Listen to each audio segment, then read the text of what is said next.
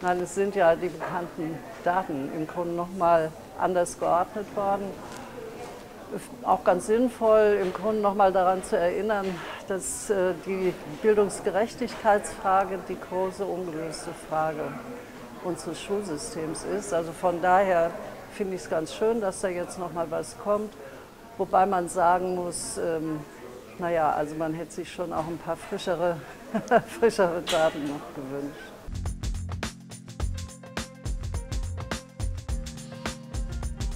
Wir finden, dass die Kultusminister etwas versäumt haben, und zwar etwas Entscheidendes versäumt haben, nämlich dieses Thema zur Priorität zu machen. Stattdessen haben sie also äh, unendlich viel Kraft und Aufwand äh, in Bildungsstandards gelegt, in Vergleichsarbeiten gelegt, womit die Schulen konfrontiert sind. Und es gibt auch nicht annähernd einen vergleichbaren, ähm, eine vergleichbare Aktivität und ein, ein vergleichbares äh, Engagement in der Frage Bildungsgerechtigkeit, Förderung, individuelle Förderung. Ist zwar in aller Munde, aber leider nicht in aller Realität. Es gibt welche, die es auch nicht wollen. Ich würde die mal eher nicht unter den Kultusministern vermuten, äh, sondern unter, unter gewissen Lehrerorganisationen, die vielleicht an der Thematik nicht so interessiert sind.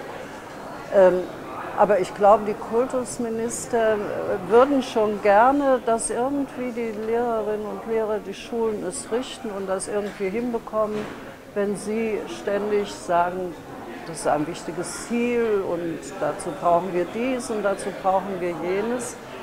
Ähm, es fehlt, also meiner Ansicht nach fehlt ihnen der systematische Zugriff auf diese Problematik, die würde nämlich sehr umfassend sein müssen. Also da würde man nicht mit ein paar Pflästerchen und ein bisschen weißer Salbe äh, agieren können, sondern dann muss richtig investiert werden. Dann muss in, investiert werden in Lehrerfortbildung, dann müssen die Schulen Etats haben, um sich beraten lassen zu können wie macht man das eigentlich, wenn behinderte Kinder mit in der Klasse sind zum Beispiel. Also das heißt, es ist richtig teuer und das wollen die Kultusminister vielleicht machen. Da sind dann die Finanzminister die harten Gegenspieler, die das Geld nicht bereitstellen. Also es ist, glaube ich, eine Gemengelage und sag mal, Boshaftigkeit würde ich eigentlich keinem unterstellen wollen, aber mangelndes Engagement. Der schwarze Peter geht ans Schulsystem. Also in dem Moment, wo ich ein Schulsystem schaffe, das sagt, Abitur ist was ganz Tolles und das schaffen eh nur wenige. Und nach dem vierten Schuljahr wissen wir, wer eigentlich fähig ist, das Gymnasium zu besuchen und wer nicht. Ihr Lehrer müsst diesen Stempel produzieren, dieses Kind hat eine gute Prognose, das Gymnasium zu bekommen. In dem Moment schaffen sie solche Situationen. Und da ist eben äh, Bayern also traditionell ganz besonders rigoros und besonders äh, nachdrücklich auch.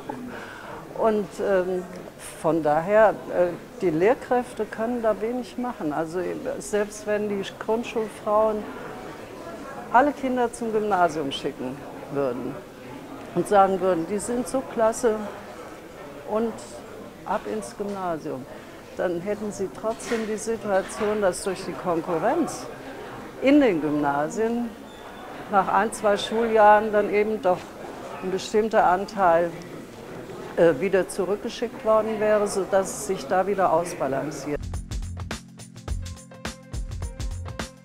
Ich hoffe es, also dass es eine wird. Es setzt allerdings einiges voraus, weil natürlich die Gefahr gerade in, in Hamburg zum Beispiel ist, dass eben doch mehr als 50 Prozent zum Gymnasium gehen und dann eben doch diejenigen, die einen besonders hohen Förderbedarf haben, ähm, dann eben auf diese zweite Säule verwiesen sind, wodurch es da dann wieder ziemlich schwierig wird für die Lehrerschaft und, und, und. Also ob das wirklich schon die Lösung äh, ist, bezweifle ich. Ähm, ob es ein Zwischenschritt ist, kann man wahrscheinlich auch bezweifeln. Nur die Hoffnung, dass man auch daraus irgendwas Gutes noch irgendwie hinbekommt, die Hoffnung stirbt natürlich zuletzt.